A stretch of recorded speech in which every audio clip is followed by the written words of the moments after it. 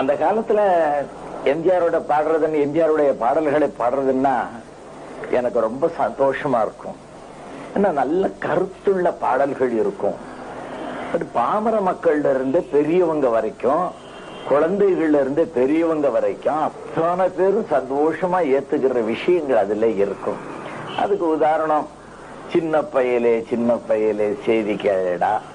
அப்படின்னு நான் சொல்ல போற வார்த்தையெல்லாம் கவனிச்சு கேடா நீ இப்படி இருக்கணும் அப்படி இருக்கணும்ன்ற உபதேசம் பிள்ளைகளுக்கு பண்ணும் போது பிள்ளைகளும் சந்தோஷப்படுவாங்க.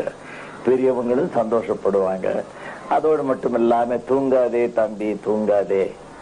கடையில தூங்கினா முதல் இழந்துருவே பள்ளிக்கூடத்துல படிச்சுட்டு இருக்கும்போது தூங்கினேன்னா கல்வியை இழந்துருவேன் கடையில தூங்கினா முதல்ல இழந்துருவே அப்படிங்கிற ஒரு நல்ல உபதேசங்கள்லாம் அவர் சொல்லுவாரு.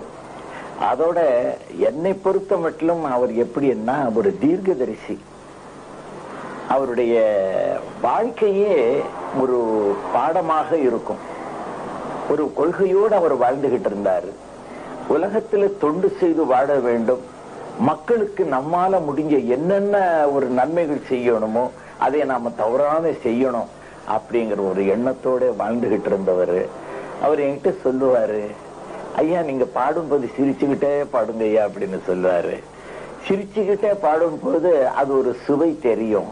அந்த சவுண்ட்லயும் அந்த வித்தியாசம் தெரியும் அப்படின்னு சொல்லுவாரு. எனக்கு ஒன்னும் புரியுறது இல்லை சிரித்து வாழ வேண்டும் பிறர் சிரிக்க வாழ்ந்திடாதே.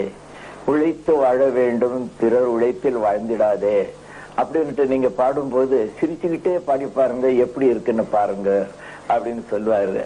அவர் சொல்றத மனசுல வாங்கிடுவேனா அப்ப உடனே எல்லார்ட்டும் சொல்ற மாதிரி சிரித்து வாழ வேண்டும் பிறர் சிரிக்க வாழ்ந்திடாதே உழைத்து வாழ வேண்டும் பிறர் உழைப்பில் வாழ்ந்திடாதே சிரித்து வாழ வேண்டும். அப்போ இந்த சவுண்ட்லயே ஒரு வித்தியாசமான ஒரு சத்தம் வருகிறது. அது சிரிச்ச முகத்தோட அந்த சத்தமும் அதுலயே ஒரு சிரிப்பு அடங்கி இருக்கும் அதுல கேட்கறவங்களுக்கு எல்லாம் ரொம்ப சந்தோஷமா இருக்கும்.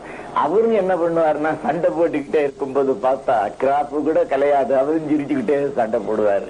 அவருடைய கொள்கை மூஞ்சியை உம்முன்னு வச்சுக்கிட்டு இருக்க கூடாது சந்தோஷமா இருக்கணும் அப்படின்னு சொல்லுவாரு. அவர் வந்து நீண்ட காலம் இருந்தார். நல்ல தீர்காயுஷா இருந்தாரு.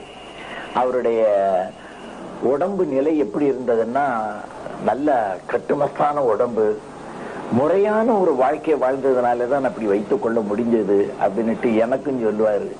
ஐயா நீங்க நல்லா யோகாசனம் பண்ணணும் நல்லா நடக்கணும் ஆகாரம் அளவான ஆகாரம் சாப்பிடணும் தீய பதார்த்தங்கள்லாம் சாப்பிடக்கூடாது மக்களுக்கு நல்லது செய்யணுங்கிற ஒரு நல்ல எண்ணத்தோடு நீங்க இருக்கணும் ஐயா அப்படின்னு சொல்லுவாரு.